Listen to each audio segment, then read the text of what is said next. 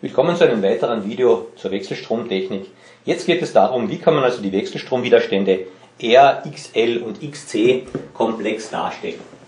Na, beginnen wir wieder mit etwas, was wir schon kennen, und zwar mit dem Zeigerdiagramm eines Widerstandes. Dazu machen wir wieder unsere bekannte Darstellung. Das heißt, wir haben eine X-Achse und eine Y-Achse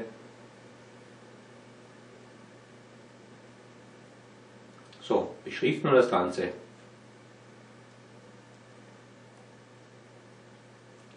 Und jetzt wissen wir, dass wenn wir die Spannung U-Spitze als Zeiger in die Nulllage geben,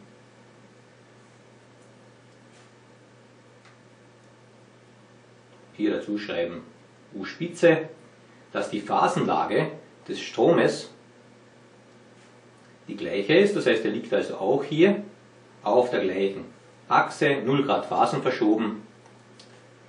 Zeichnen wir noch die Spitze ein. So, schreiben wir dazu I-Spitze. So. Das ist unser bekanntes Diagramm in der XY-Ebene. Und wenn wir jetzt aus der Kenntnis der komplexen Zahlen das Ganze übertragen und sagen, okay, wir werden das Ganze jetzt in eine gausche Zahlenebene übertragen. Und dann sehen wir es relativ wenig, also wenn wir uns das anschauen, haben wir hier einen Zahlenstrahl,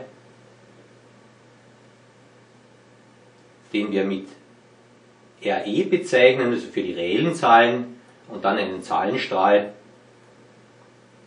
den wir mit IM bezeichnen, für die imaginären Zahlen.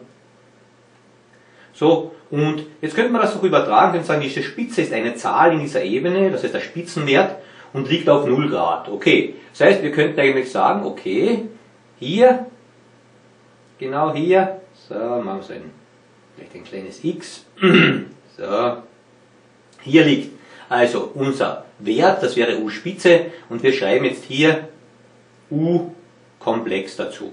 Okay, also wir haben nichts anderes gemacht, als diese Spitze mit einer Zahl markiert und die Zahl ist hier hinten. Und das gleiche können wir jetzt tun, indem wir sagen, okay, nehmen wir die Spitze wieder her, nehmen wir den Wert her für den Strom und sagen dazu, das ist I-Komplex.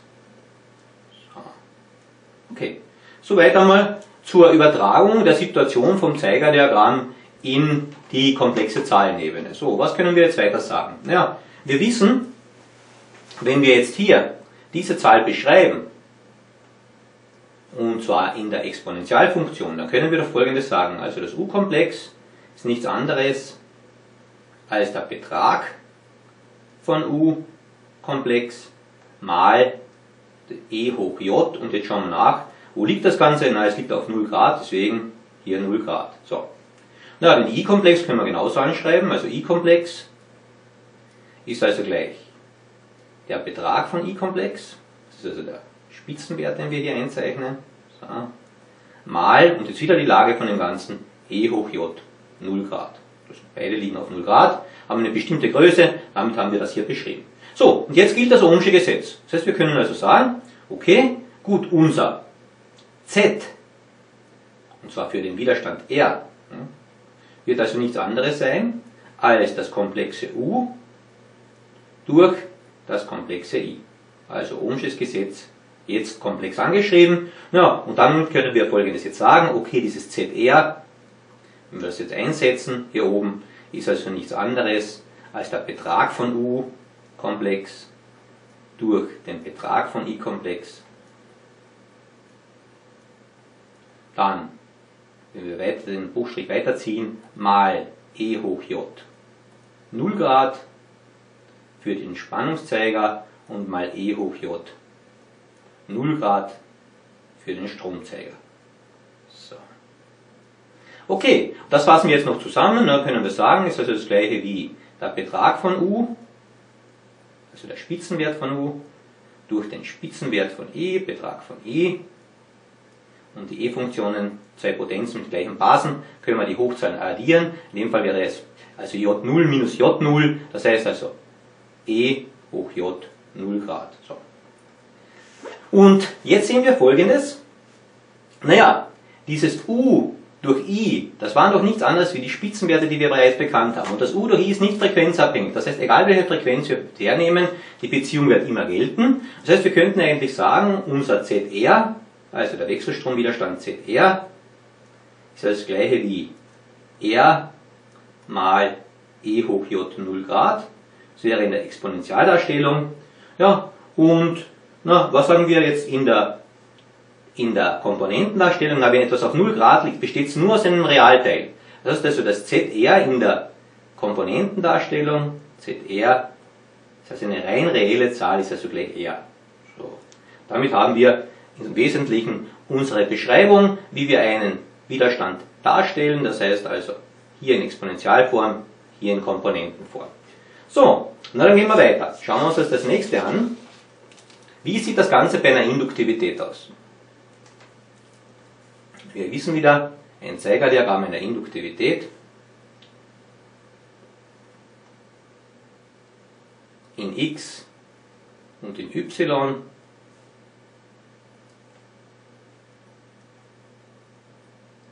Unser Spannungszeiger liegt wieder in der 0 Grad Lage, also genau auf der x-Achse.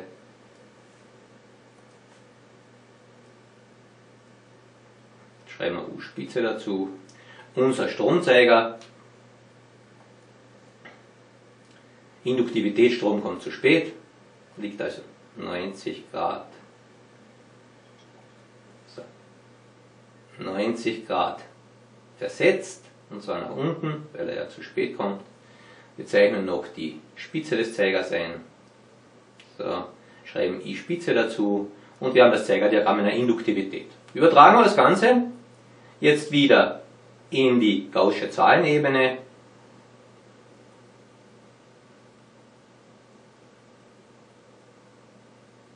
Schreiben wir zu den Zahlenstrahlen, die jetzt keine Achsen, aber Strahlen sind, wieder dazu reelle Zahlen, imaginäre Zahlen.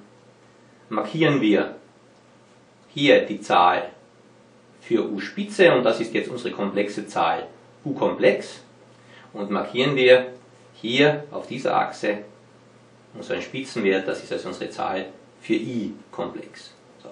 Und jetzt machen wir folgendes, wir lassen also wieder, wir beschreiben wieder beide komplexen Zahlen in Exponentialform, das heißt wir können also sagen, unser u-Komplex ist also gleich der Betrag von u mal e hoch j 0 Grad. So. Unser i-Komplex ist also der Betrag von i mal, das liegt auf minus 90 Grad, e hoch minus j 90 Grad. Ja. Und wenn wir über das Ohmsche Gesetz jetzt wieder unser ZL ausrechnen, das heißt wir machen also das ZL, das zugleich ja, wie wir schon wissen, XL heißt,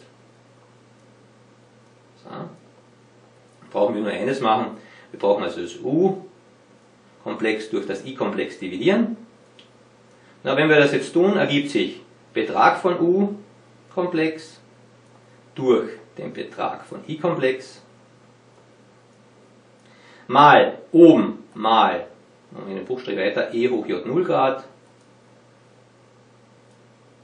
und unten mal e hoch minus j 90 Grad. So.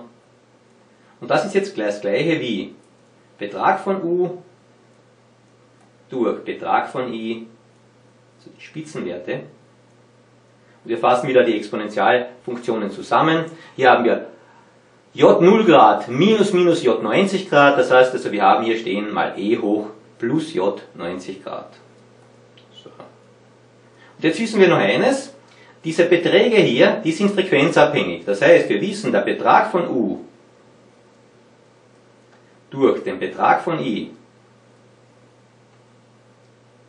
der ist nichts anderes als Omega mal L. Das kennen wir bereits. Das heißt also, wir können jetzt hinschreiben, unser XL in komplexer Darstellung ist nichts anderes als Omega mal L mal E hoch J 90 Grad. Das ist die Exponentialdarstellung. So, wie kommen wir jetzt von der Exponentialdarstellung in die Komponentendarstellung. Also einfach, e hoch j 90 Grad ist genau auf j, das ist also genau auf der imaginären. Das heißt, besteht nur aus einem Imaginärteil. Das heißt, hier haben wir j dazu. Das heißt, das ist das gleiche, als würden wir schreiben j Omega mal L. Und damit haben wir unsere Induktivität in der Exponentialerstellung und in der Komponentendarstellung. So, das gleiche noch für die Kapazität. Wir werden also jetzt wieder ein Zeigerdiagramm zeichnen.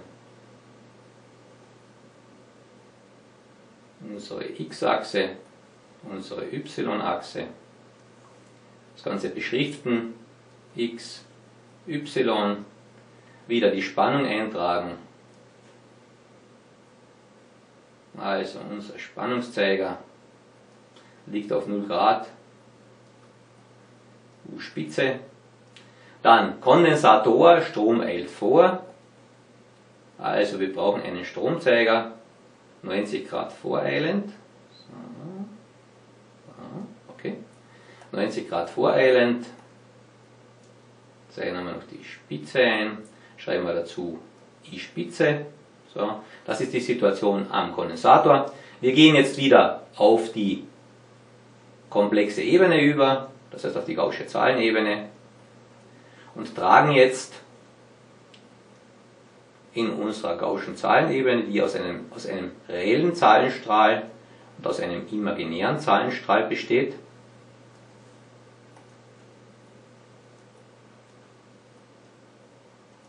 die beiden Zeigerlängen ein. Das heißt also, wir haben also hier eine Zahl für U-Spitze und schreiben dazu U-Komplex und eine Zahl für I-Spitze und schreiben hier dazu i-Komplex. So. Und das nächste, was wir tun, ist, wir stellen jetzt diese beiden Größen in Exponentialform dar. Das heißt, wir schreiben also jetzt hin, unser u-Komplex wird also sein, unser Betrag von u, Komplex, die Länge, mal e hoch j. Und wir schauen nach, es liegt auf 0 Grad, diese Zahl. Und unser i-Komplex wird also sein der Betrag von i, also die Länge des Zeigers mal, und das liegt jetzt auf 90 Grad, E hoch J 90 Grad. So. Wenn wir jetzt unser Z vom C bilden wollen, na, dann ist das nichts anderes als U-Komplex durch I-Komplex, also ein komisches Gesetz. Schreiben wir es also noch einmal auf. Wir wissen also, dass das Ganze XC heißen wird für diesen Blindwiderstand. Und, na, schreiben wir es auf, ist der Betrag von U-Komplex durch den Betrag von i-Komplex, also die Exponentialformen einfach miteinander verbunden, mal e hoch j 0 Grad für die Spannung, mal e hoch j 90 Grad für den Strom.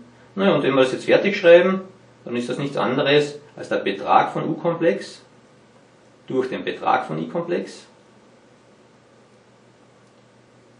mal, das haben wir hier e hoch j 0 Grad minus e hoch j minus 90 Grad ist also e hoch minus j 90 Grad. So. Und das wissen wir jetzt. e hoch j minus 90 Grad, das sitzt hier unten. Das heißt, dass wir haben also eine negative imaginäre Zahl. Das heißt, wir können also sagen, unser xc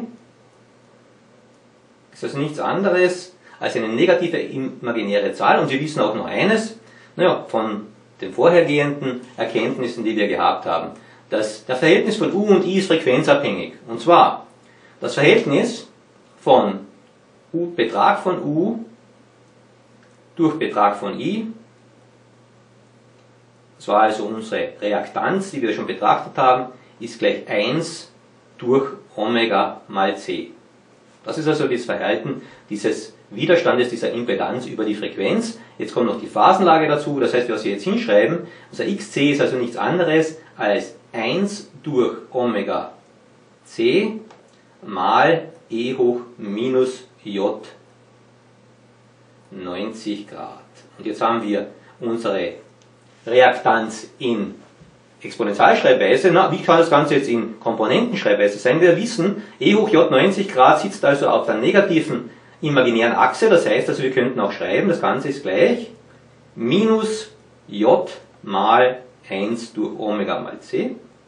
Und jetzt wollen wir das Ganze minus j hier noch wegbringen. Wir multiplizieren also oben mit j und unten mit j. So, dann haben wir das Ganze minus j Quadrat durch j Omega c. So, und j Quadrat ist gleich minus 1 und minus mal minus ist plus, das heißt das Ganze ist 1 durch j Omega c. So, und damit haben wir die zweite Schreibweise gefunden, die Schreibweise für eine Reaktanz eines Kondensators in Komponentenschreibweise. So, wiederholen wir das Ganze noch einmal.